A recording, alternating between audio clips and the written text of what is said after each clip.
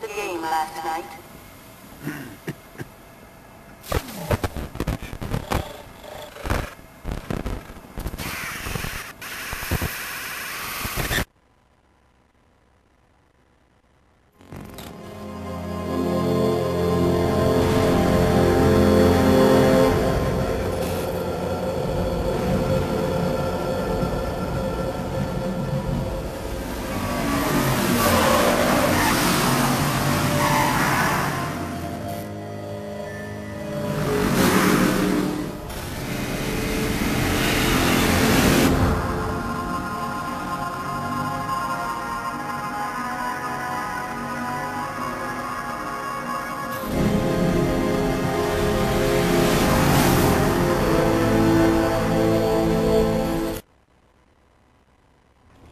Can I keep him, sweetie? Please, please, please. I'll feed him and walk him. I promise.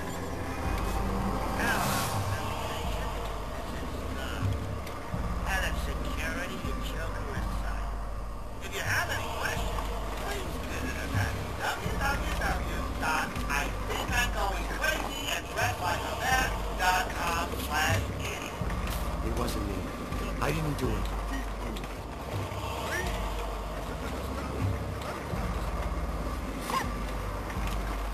Keep those mouths shut.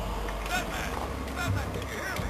He don't look so big and scary now, does he, Mr. J?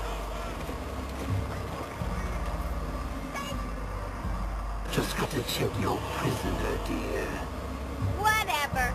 Just be quick. He's not looking too good. No, he's not. We really should feel sorry for him. He never fully got over his parents' death. It left him quite insane. What is going on inside your head, Wayne? He's gone. Just a twisted shell of a man. Cut me free! He's all yours, Joker.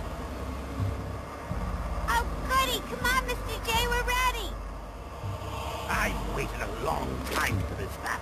Let's start the party with a bang.